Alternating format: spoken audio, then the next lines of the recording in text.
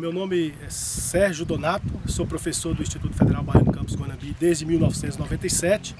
A minha área de atuação com ensino aqui é a parte de fruticultura. A gente desenvolve pesquisa junto com um grupo de colegas e colaboradores com palma forrageira, que é um, um, um produto, que é um cultivo importante para o semiárido. Então, para integrar o que, que se deseja nos institutos federais, que é essa questão de atender os arranjos produtivos locais né, e regionais.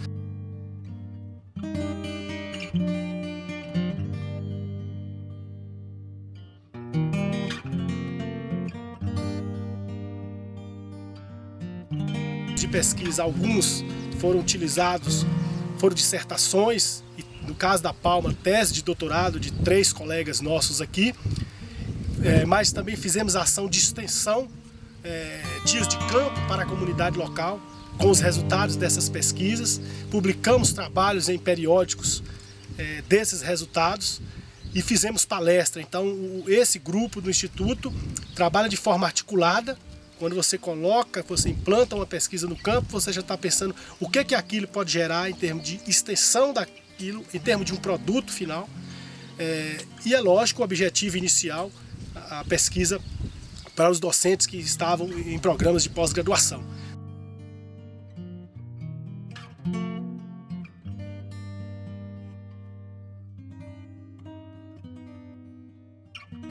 Chegamos a um produto final junto com a Embrapa, que é o lançamento de uma cultivar, agora em 2012, que foi feita no Rio Grande do Sul e foi feita aqui no Congresso de Cultura e foi feita em Bom Jesus da Lapa, no perímetro irrigado do Formoso. Então, todo esse trabalho que é feito aqui dentro, ele é articulado. Ensina-se porque o aluno trabalha com isso, estende o que se pesquisou e divulga isso de, de maneira para atender o público do arranjo produtivo local, que seria o produtor, e o público da ciência via periódicos.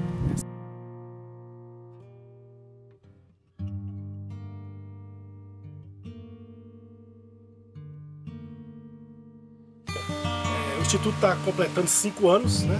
Isso é apenas o início, nós estamos na fase infantil ainda, né, nesse processo em termos de idade.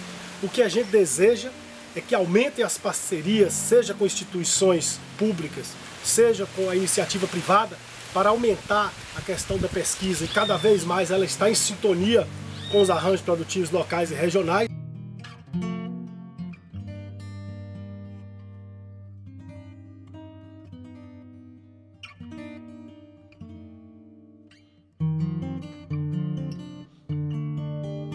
E é isso que a gente acredita, que os trabalhos de pós-graduação dos docentes sejam feitos para se titularem, para ter progressão, mas que tenha continuidade para resolver problemas regionais. Isso é a nossa visão.